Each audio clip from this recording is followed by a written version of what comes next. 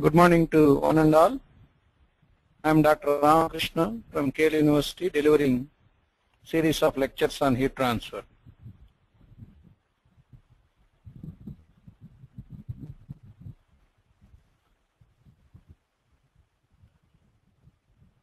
The other day we have finished the conduction part, both steady state and unsteady state.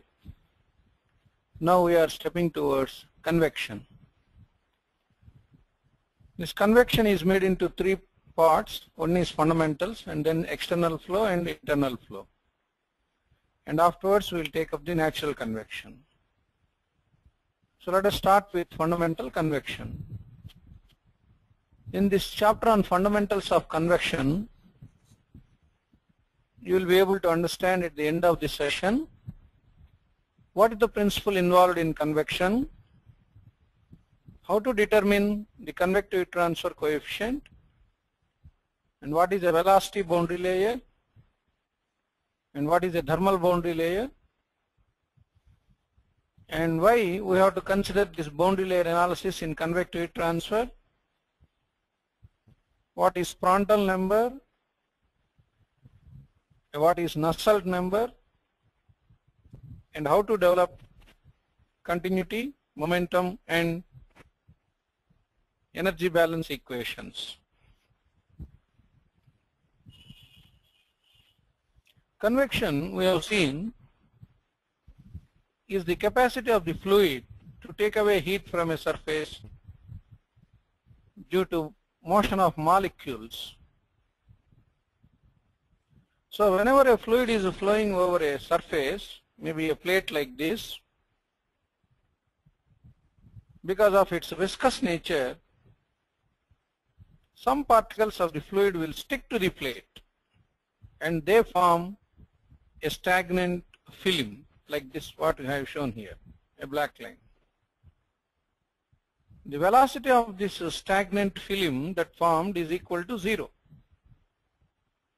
The fluid is approaching with a velocity v, but on the top of the surface, because of the viscosity or viscous nature of the fluid, stagnant film forms.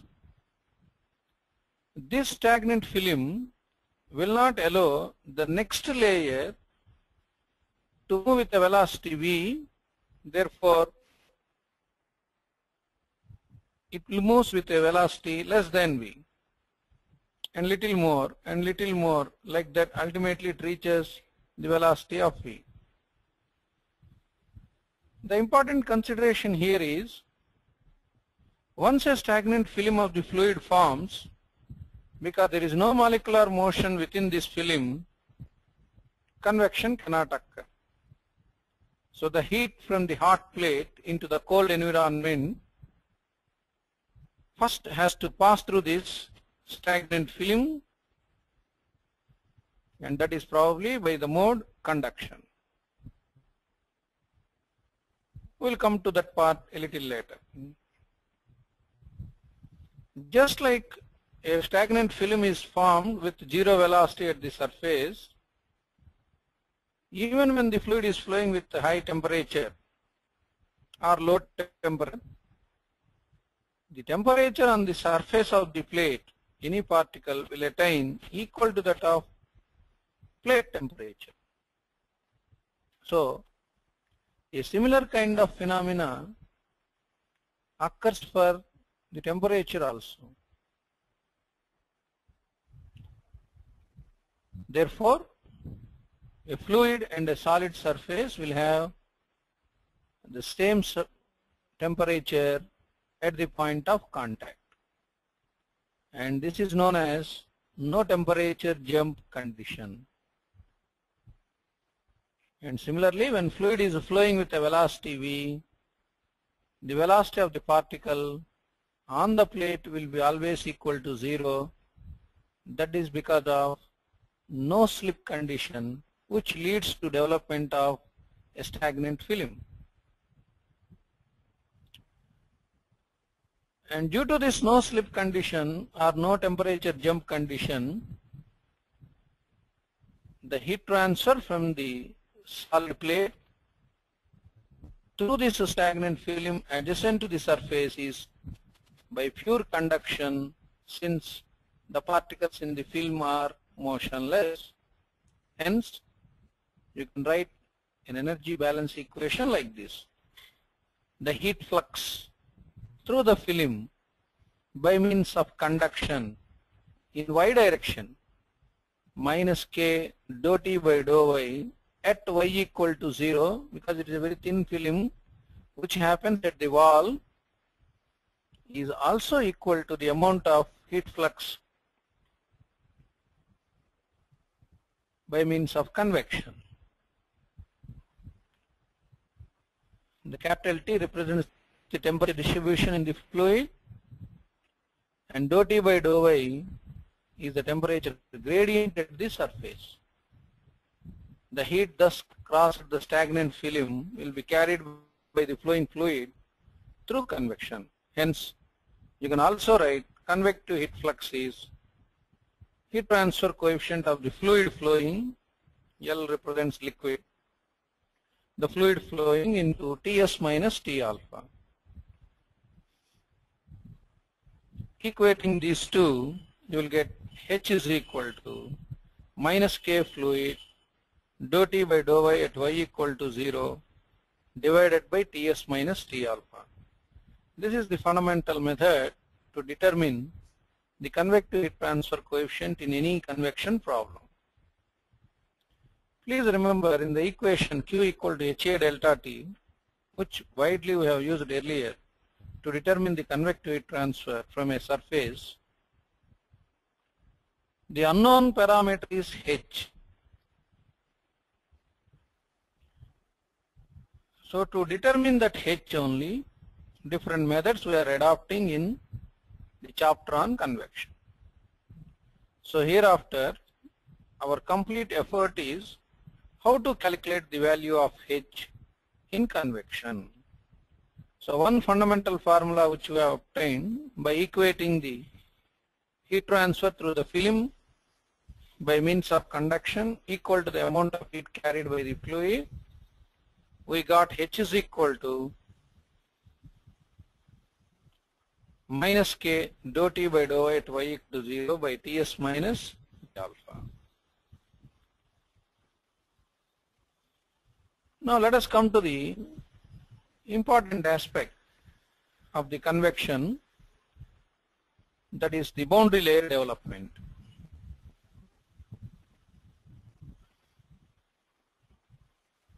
We will discuss both velocity boundary layer formation as well as thermal boundary layer formation when a fluid is flowing over a plate.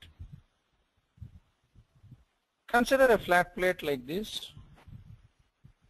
over which the fluid is entering with a velocity v, maybe 20 meter per second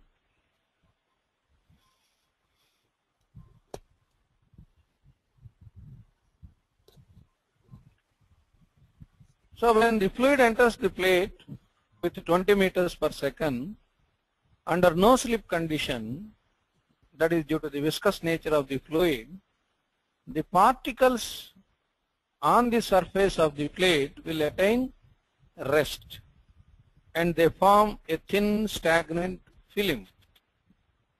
We are calling that condition as no slip condition. This film offers resistance for motion of the next immediate layer because of viscous friction and hence the next layer will move but with a velocity slightly more than 0 and less than v and next layer will move with a velocity more than the first layer immediate first layer but with a less velocity than v. So while we are progressing in the y direction as shown in this the velocity of the particle gradually increases. Please note that there exists always a relative velocity between any two adjacent layers because of viscosity of the fluid. So due to the flow of fluid over this surface, the particles that are flowing on this plate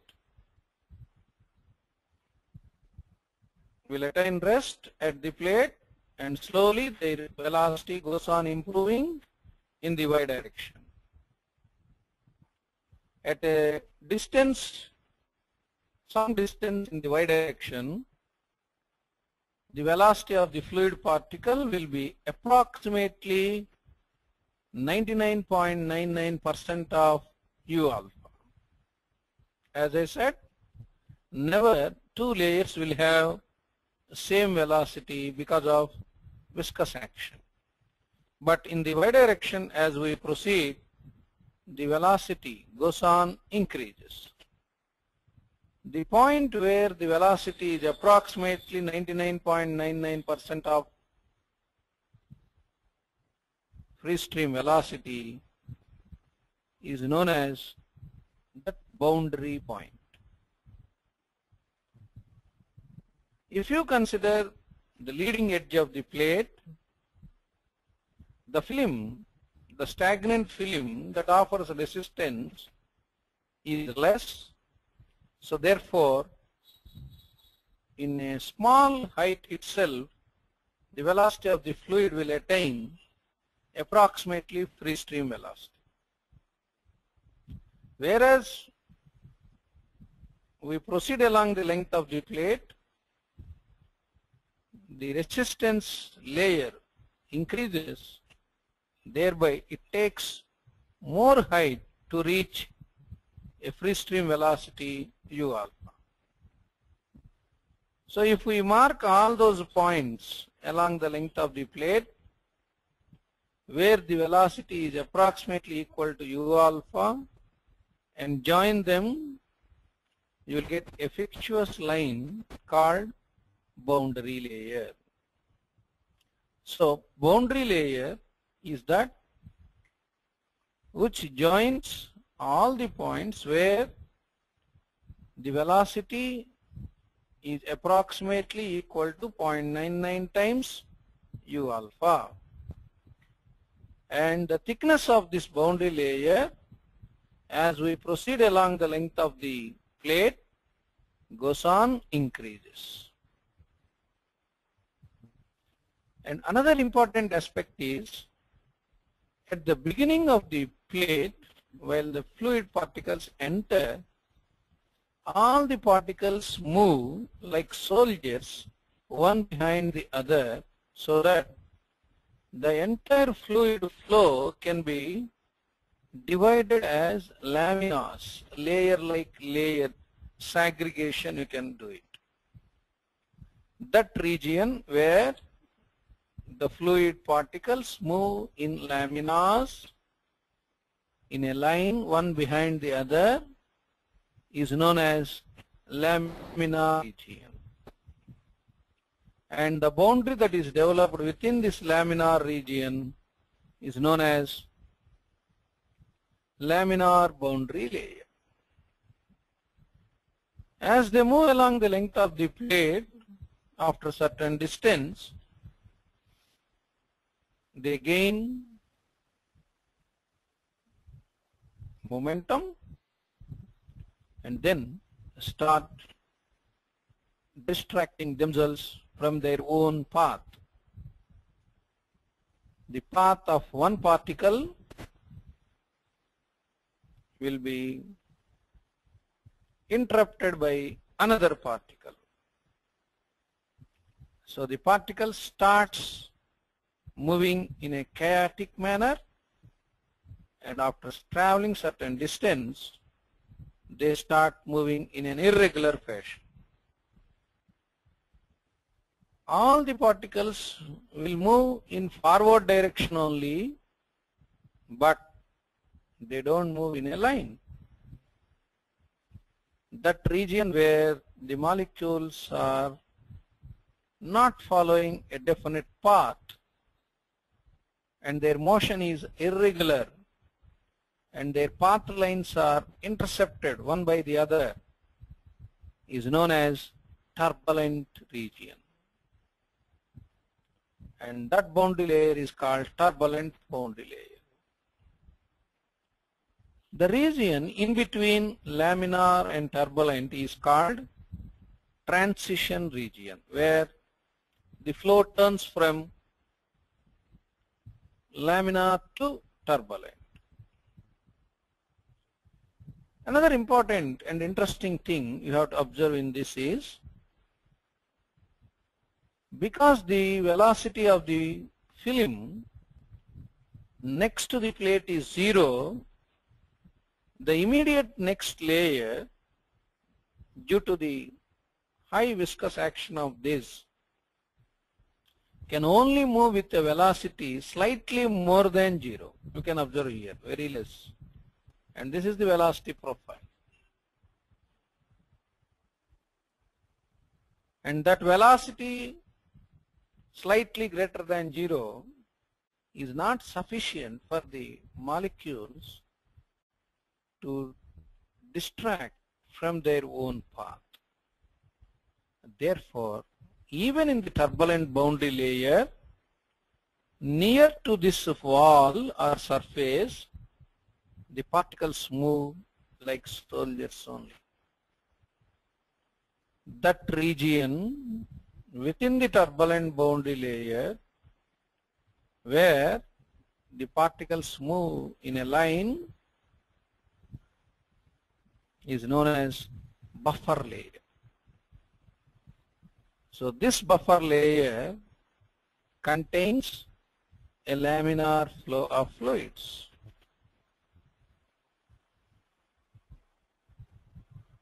So if you look at this red line, this red line is nothing but our boundary layer. The velocity at this arrow point is nothing but 99.9% of u alpha. Similarly, the velocity here 99.9% of u alpha. The velocity here 99.9% of u alpha. The velocity here 99.9% of u alpha. And what is the velocity here? u alpha. And any point here, u alpha. That means above this red line, though the fluid is having viscosity, the effect is not visible. Uniform velocity is prevailing above the turbulent, I mean above the boundary layer. That region where the viscosity is not playing any role is known as inviscid flow region. And within the boundary layer, the velocity varies from u alpha approximately on the boundary layer to 0. So that u alpha to 0, the profile is shown like this. If you look at the velocity profile that is drawn in the laminar region, is more or less like a parabolic profile. Whereas in the turbulent region, up to buffer layer it is a parabolic and then in the turbulent one blunt in shape and then it continues. So the velocity profile changes in the laminar region as well as in the turbulent region. As molecules are thoroughly mixed up in the turbulent region, obviously the rate of heat transfer is high in case of turbulent motion when compared to laminar motion. For example, if I want to cool the coffee at a faster rate, I will stir well with the help of a spoon. So that stirring of coffee with the spoon creates a turbulence. So molecules mixes thoroughly and thereby they convect more amount of heat to the surrounding fluid. So this is the zone where you have high rate of heat transfer. The height in vertical direction from the plate surface to the boundary layer is known as boundary layer thickness delta. The point where the flow turns from laminar to turbulent is known as critical distance. So it is further clarity, further for further clarity it is shown like this. Over the surface, this is the velocity profile. The point where the velocity reaches 99% of velocity is called the boundary layer thickness and up to this boundary layer thickness the region is called boundary layer region and above the boundary layer region the region is called inviscid flow region and the zero velocity at the surface is called no slip condition. So this is about the development of velocity boundary layer. What is the necessity of considering this velocity boundary layer? Because the heat from this plate to the fluid first has to pass through this boundary then only it will be picked up by the surrounding fluid. So the analysis of boundary layer is very important to understand how the molecules are capable of dissipating heat from the surface into the environment.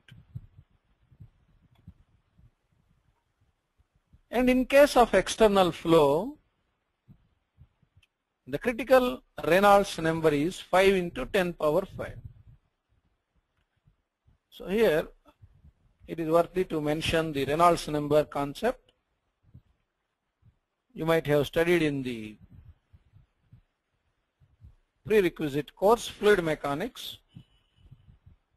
Reynolds number is defined as the ratio of inertia of forces to viscous forces and this Reynolds number decides whether the flow is laminar or turbulent. And the critical Reynolds number for external flow is 5 into 10 power 5. For example, at this point where the flow turns from laminar to turbulent, the Reynolds number value at this point is 5 into 10 power 5 that length corresponding to it 5 into 10 power 5 is called critical distance and the Reynolds number here is called critical Reynolds number. So if the Reynolds number is less than 5 into 10 power 5 the flow is laminar and if it is greater than 5 into 10 power 5 it is turbulent. Please remember this critical Reynolds number 5 into 10 power 5 is only for external flow. And for internal flow, the critical Reynolds number is 2300 roughly. We'll come to that a little later. And now the thickness of the boundary layer, what we have seen earlier in the figure, the point in y direction where the velocity approximately reaches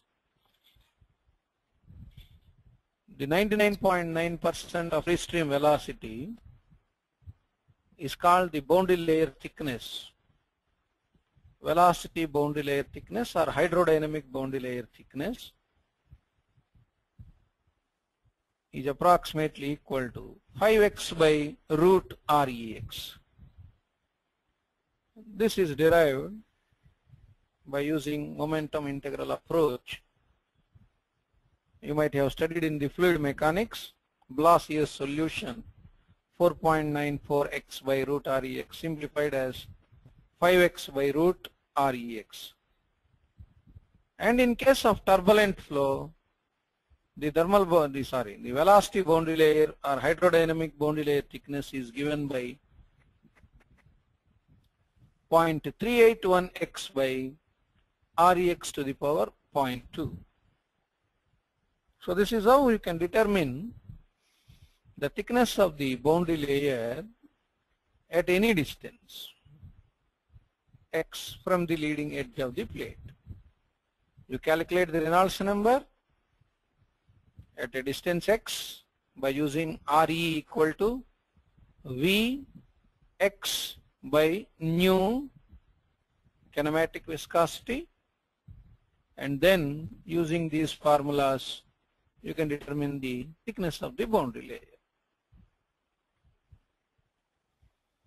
Just like velocity boundary layer formation on a plate when fluid is flowing, it can also develop a thermal boundary layer.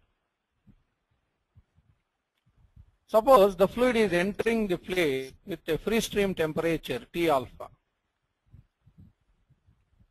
and the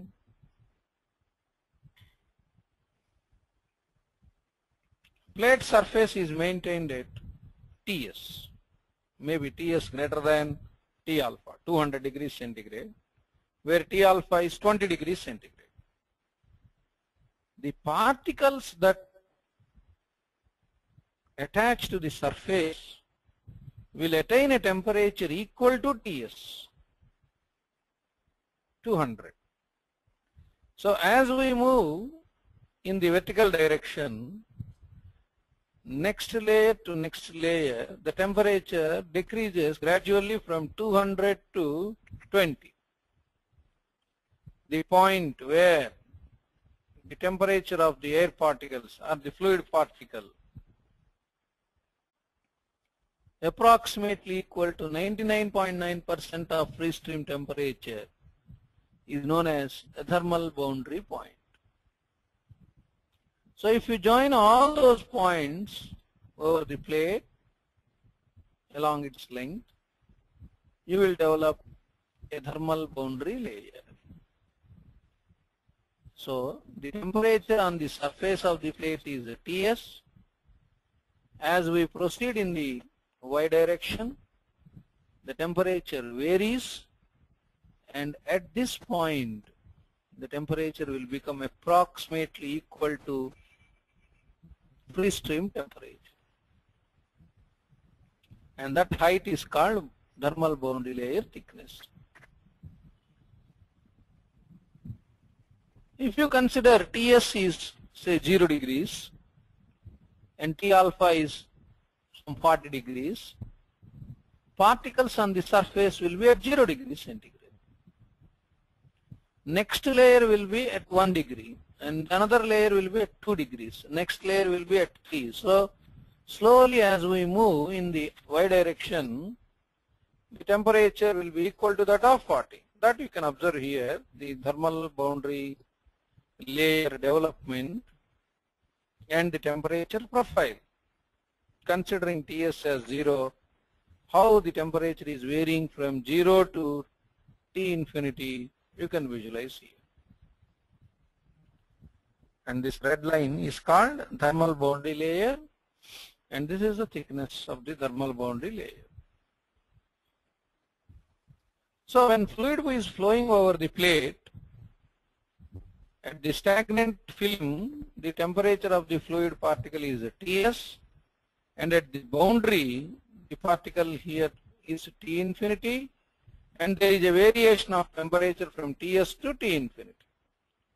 Heat has to first pass through this film, then only it can enter into the surrounding fluid.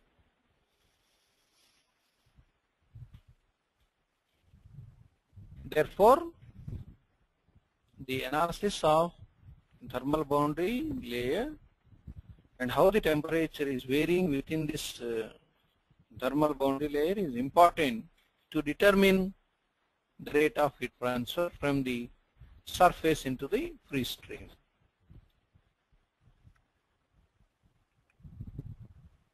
The thickness of the thermal boundary layer at any location along the surface is defined as the distance from the surface at which the temperature is equal to 0.999 T alpha or the difference in T minus Ts, T is the temperature at any point, is approximately equal to 0.99 times T alpha minus Ts. This is the definition. In simple words, It is the point where the temperature is approximately equal to T alpha.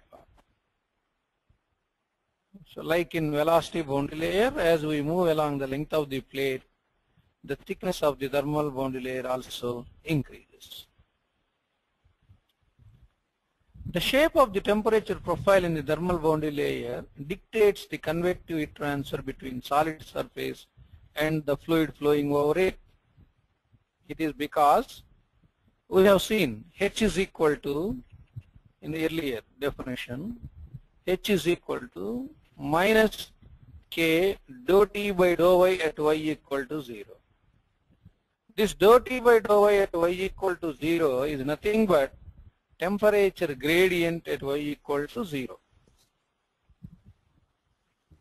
So to determine the temperature gradient at the wall, first of all you should know how the temperature is varying near the wall. That is nothing but by knowing the temperature distribution within the boundary. So therefore, the shape of the temperature profile in the thermal boundary layer dictates dou T by dou Y at Y equal to 0 and hence the convective transfer coefficient. In flow over a heated or cooled surface, both Vela thermal boundary layers will develop simultaneously. You will have velocity variation in the y direction and you will also have temperature variation in the y direction. And as we move in the y direction, at one particular point, the variation ceases and velocity and temperature remains constant. Those points are marked as boundary layer points. The fluid velocity will have a strong influence on the temperature profile and hence the development of velocity boundary layer relative to the thermal boundary layer will have a strong effect on the convective heat transfer. This is the very important point which indicates the necessity of boundary layer analysis to assess convective heat transfer coefficient. Now, as we have seen, while the fluid particles are moving in the boundary, they are subjected to both viscous forces as well as inertia forces. Hence,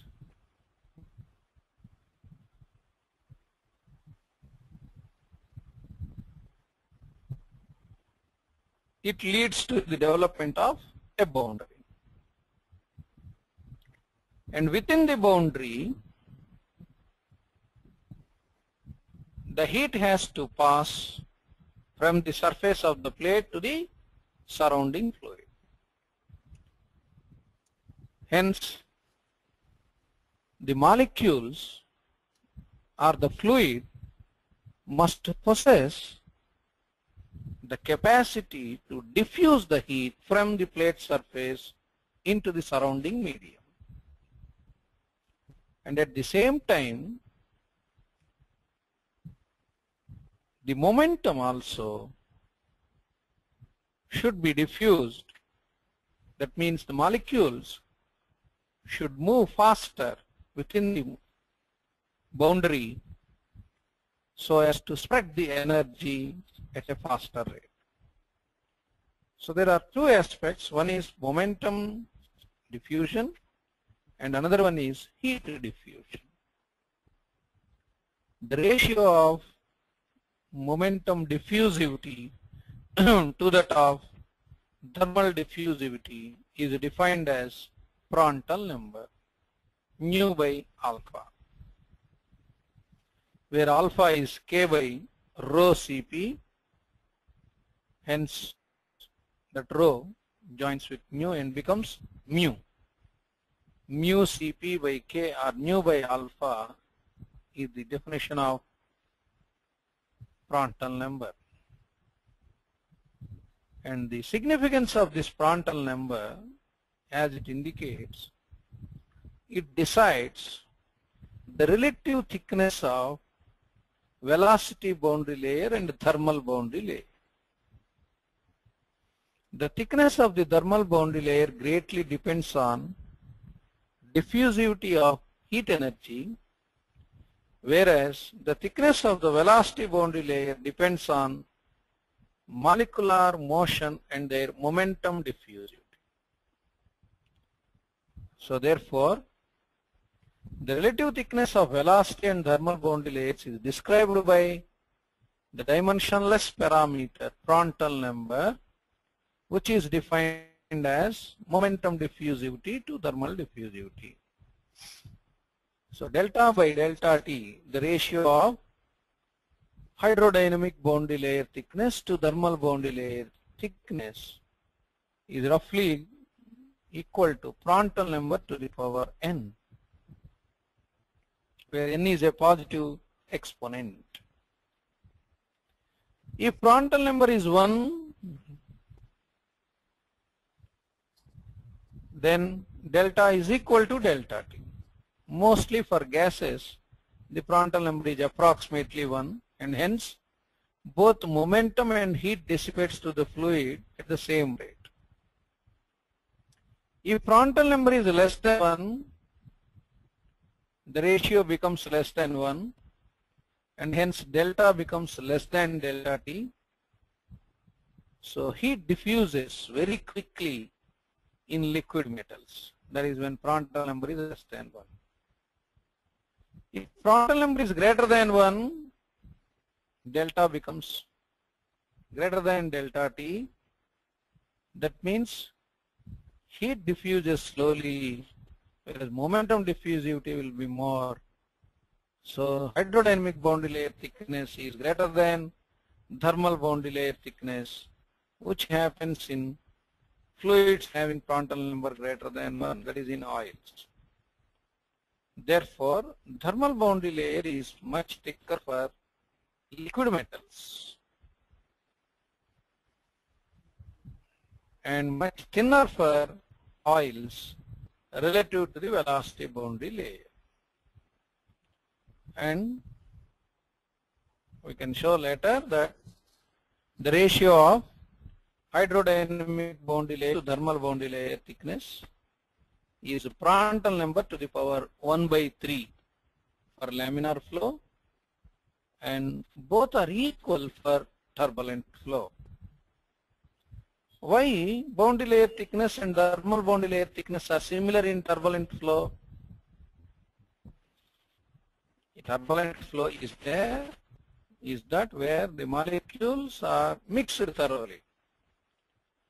So they are crossing their paths, they are entering into the path of another particle, they are moving in a chaotic manner, therefore in the process of their motion they carry the energy and uh, heat diffusing capacity of the molecules as well as momentum diffusing capacity of the molecules mix up and both are approximately same therefore in the turbulent region thermal boundary layer thickness and hydrodynamic boundary layer thickness are same.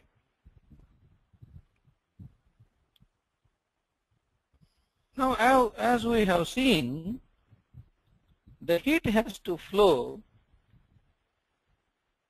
from the plate surface into the environment first through the stagnant film and that stagnant film allows heat only by means of conduction as there is no relative motion of molecules. The heat which crosses that stagnant film by means of conduction will be picked up by the surrounding molecules due to their motion and that mode is called convection. So with reference to the conducting capacity of the fluid and the convective capacity of the fluid, another non-dimensional number is involved which is called Nusselt number. And hence Nusselt number is defined as the ratio of heat flux by means of convection to that of heat flux by conduction when the fluid is assumed to be motionless, no slip condition. The formula for heat flux by means of convection is H delta T and that of conduction is K delta T by thickness. So delta T cancels, you will get HL by K, where L is the dimension in meters. H into thickness by K. Nusselt number HL by K. Listen here, the conduction heat flux is nothing but representing the conducting capacity of the fluid which formed a thin stagnant layer on the surface of the plate. So this K delta T by L is the conduction heat transfer through the fluid film where the K represents the thermal conductivity of the fluid. So Nusselt number is equal to HL by K where H is the convective transfer coefficient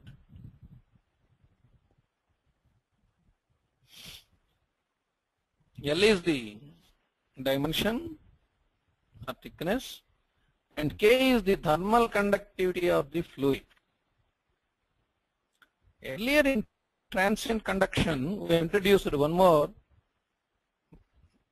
non-dimensional number called Biot number, the formula of which is also HL by K. But there in Biot number, it is the ratio of internal resistance to external resistance. That internal resistance offered for conduction is by the solid, not the surrounding fluid. So therefore, in Biot number, the K represents thermal conductivity of the solid, whereas in Nusselt number, K represents the thermal conductivity of the surrounding fluid. So it's a very important uh, question, concept question. Distinguish between Nusselt number and Biot number. Though the formula looks same, the concept is entirely different. So hence Nusselt number is representing the heat that is passing through the fluid by means of convection to that of the ability of the fluid to conduct the heat.